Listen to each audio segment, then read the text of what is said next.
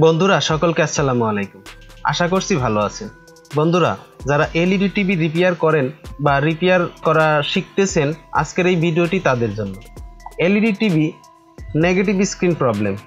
এটি সাধারণত LED panel বা মাদারবোর্ড চেঞ্জ করার পর হতে পারে। বা নর্মালিও এই সমস্যাটি হতে পারে। যদি নর্মালি এই সমস্যাটি হয়ে থাকে, তাহলে এটি মাদারবোর্ডের হার্ডওয়্যার সমস্যার কারণে হতে পারে। এলইডি প্যানেল বা মাদারবোর্ড চেঞ্জ করার পর সমস্যাটি হয়ে থাকলে কীভাবে সমস্যাটি সমাধান করতে হয় তা এই ভিডিওতে দেখানোর চেষ্টা করব। সো দেখতে থাকুন ইনোভেটিভ আইডিয়া বিডি আপনাদের সাথে আছি আমি শফিক।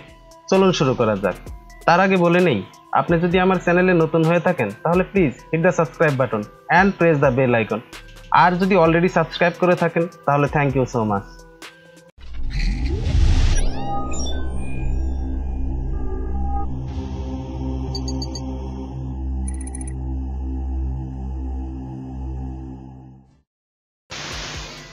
এই সমস্যাটি সমাধান করার জন্য প্রথমে আমাদেরকে যেটি করতে হবে সেটি হচ্ছে যে আমাদেরকে ফ্যাক্টরি মেনুতে প্রবেশ করতে হবে। ফ্যাক্টরি মেনুতে প্রবেশ করার ক্ষেত্রে এক এক মাদারবোর্ডের ক্ষেত্রে এক এক রকম। আমরা এখানে ইউনিভার্সাল মাদারবোর্ড ইউজ করেছি। সো ইউনিভার্সাল মাদারবোর্ডে ফ্যাক্টরি মেনুতে প্রবেশের ক্ষেত্রে যেটি করতে হবে সেটি হচ্ছে প্রথমে মেনু প্রেস করতে হবে। এরপরে double one four seven press করতে হবে, তাহলে আমাদের ফ্যাক্টরি ম্যানু চলে আসবে। ফ্যাক্টরি ম্যানু থেকে আমাদেরকে যেতে হবে প্যানেল সেটিংয়ে এবং সেখান থেকে প্রিসেট প্যানেল আইডি এখানে আমাদেরকে আইডি সিলেক্ট করতে হবে।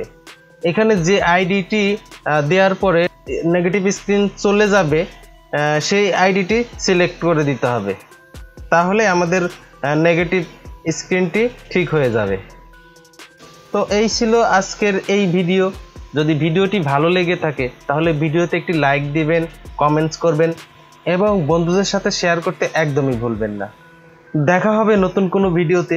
সে পর্যন্ত ভালো থাকুন, সুস্থ থাকুন।